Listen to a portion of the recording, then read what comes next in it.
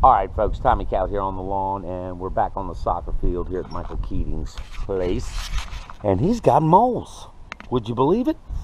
We just had to deal with a raccoon here that was ripping this place to shreds. And this is Captain Elite Soccer Camp.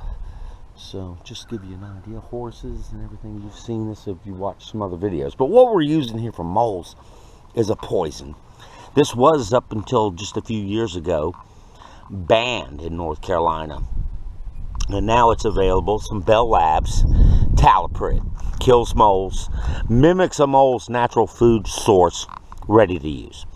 And basically, what it is is a little worm, a worm that contains bromethalin, which is pretty strong stuff. I know I've uh, dealt with Bell Labs. It's one of the best rat bait companies in the world and um, they have the brodifacoum. They typically what'll happen to the mole, the mole will bleed eternally.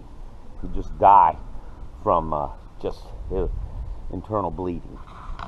Um, so what we do, yesterday I had Michael come out and pound down all the mole tunnels here, these subsurface tunnels.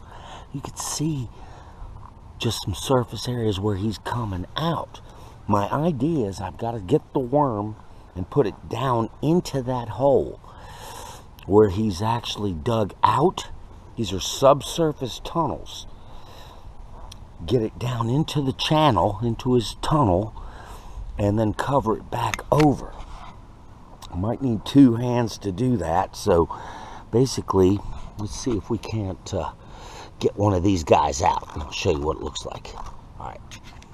All right, folks, well, here I am at a subsurface tunnel. I've got my talpirid bait, and he has actually surfaced from this tunnel. And what I'm going to do is use my pocket knife and get that down in the hole. Don't want to cut it. This mimics his actual, if you can see that going down in, this is uh, going to mimic the actual food source. These uh, moles go for. And uh, get that down in the hole. Get it on in. You can see it's going in. Okay, so it's in the hole. Now, just going to pack that down so there's no light.